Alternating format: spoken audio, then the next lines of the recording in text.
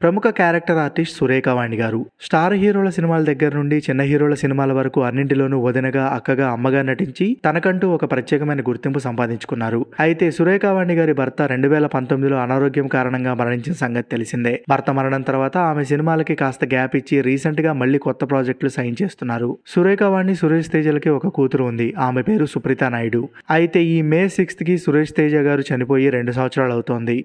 ఈ రోజున తన తండ్రిని తలుచుకుంటూ ఒక ఎమోషనల్ మెసేజ్ని పోస్ట్ చేసింది సుప్రీత. కొన్నిసార్లు మనకు తెలుసు వాళ్ళ మాటలు వినలేమని వాళ్ళ దగ్గర నుండి కాల్ మనకు రాదని. దాన్ని కూడా ప్రేమనే అంటారు. నాన్న నిన్ను మిస్ అవుతున్నా. నా జీవితం మొత్తంలో ఇది ఒక వరస్ట్ రోజు. నువ్వు నా చుట్టూనే ఉన్నావని నేను ఫీల్ అవుతున్నాను. కానీ అప్పుడే నువ్వు మమ్మల్ని వదిలి రెండు సంవత్సరాలు అయింది అంటే నమ్మలేకపోతున్నాను. మిస్ యూ అండ్ నిన్ను ఎప్పటికీ ప్రేమిస్తూనే ఉంటాను అంటూ ఎమోషనల్ పోస్ట్ చేసింది సుప్రీత. ఆమె పోస్ట్ చూసిన వారంతా స్టే స్ట్రాంగ్ అంటూ కామెంట్స్ పెడుతున్నారు.